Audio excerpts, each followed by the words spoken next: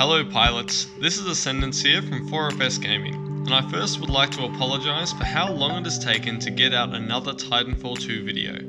We have been very busy with other content, so please go and check some of that out, but we are now back on track with another Tactical Kit Advanced Guide. And today we're going to look at Cloak. Now personally, I'm not a big Cloak fan. I think it has some utility, but doesn't achieve anything super special. Anyway, let's get stuck right in. Cloak will make you semi-transparent for a full 15 seconds. In this state, you can still be seen by pilot. However, it will be much harder to distinguish you from the background environment. Human pilots in Titans will also be able to see the shimmer of your cloak if they are observant. Activating your jump pack by double jumping, sliding, wall running, or hovering will make you easier to see as your jets still flare. You are also completely invisible to all AI, even anti-pilot turrets. While cloaked, you may do any action except for shooting. You can throw ordnance, melee, execute, but as soon as you shoot, the cloak effect will immediately end. Enemy sonar knives and map hacks will reveal your position during cloak as normal, but they will not cancel the cloak effect, so you will remain invisible to enemy bots and AI. The cloak ability has a cooldown of 20 seconds, or 15 seconds if you use the Power Cell Pilot Kit. So that is all of the specifics of what Cloak does. So how do we use it to the best of effect? The first thing that you have to understand is that Cloak does not let you get out of sticky situations. It's not a get out of jail free card.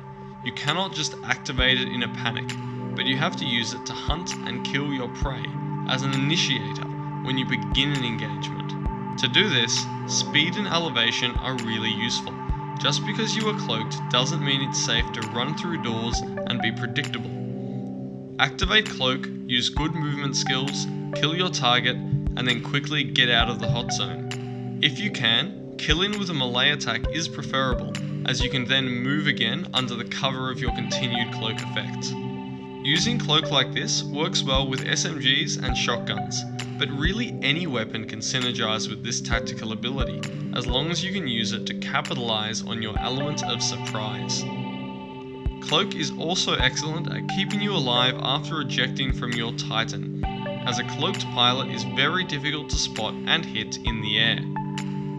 In the same respect, using cloak to rodeo is very helpful, as it is unlikely other enemy pilots and titans will spot and shoot you if they do not have good lines of communication. Interestingly, the visual effects of Cloak itself are most effective when you are standing still.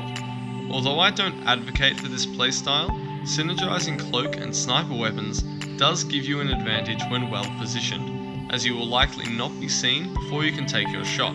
Granted, you still have to then hit your shot or all of that advantage is lost. Now I do however have some criticisms of the cloak ability. The first is that it does nothing to aid your mobility or protect you like phase shift, grapple or stim. It also doesn't have a tactical benefit for your team, like A-Wall or sonar blade.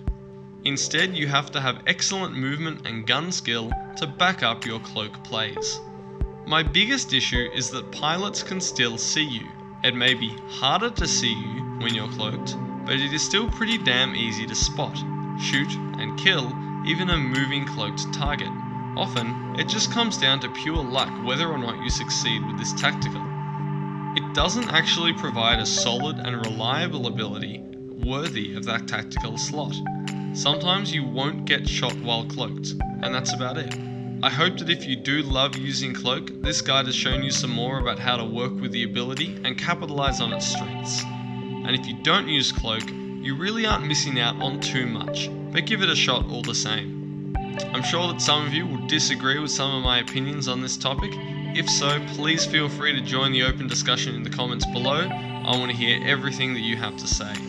Thanks for watching guys, please like and subscribe and check out our Twitch channel link in the description below some of our live streams.